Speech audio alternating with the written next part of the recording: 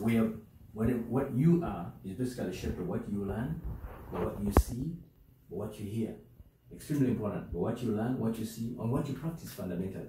Even Bloom's tax- taxonomy, which is actually argued as uh, probably the best method of disseminating information in universities, is premised on under that ideology that the more you you know you repeat something, the more you regurgitate something, the more you probably comprehend and get there.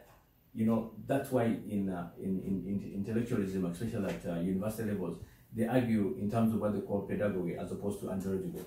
Uh, pedagogy means that you, you learn something by saying it and by teaching another to think outside the box and throw the box away, as opposed to parrot education. So the kind of education that we have in Africa has been this kind of parrot education because we thrived on ideologies that are pre- premised by certain individuals in England, and we think that is the standard of right and wrong.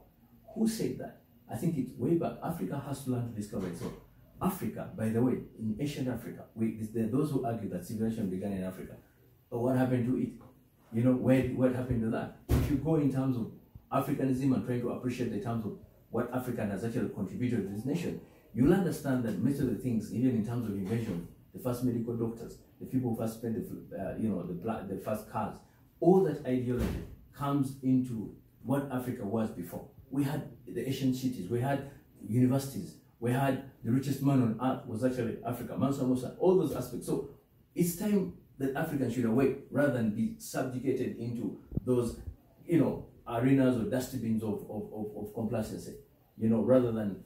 So the, my, my instigation to every African is to rediscover themselves in terms of saying, listen, I have the potential. I believe in myself. I believe in what Dr. King used to say, that the time is going to come when people are not going to be measured by the color of their skins, but by the content of their character. I believe that. I believe in what Ralph Waldo Emerson said in 1871. If a man can build a better house or make a better mousetrap than his neighbor, even if he builds his house in the woods, the world will make a beaten path to his door.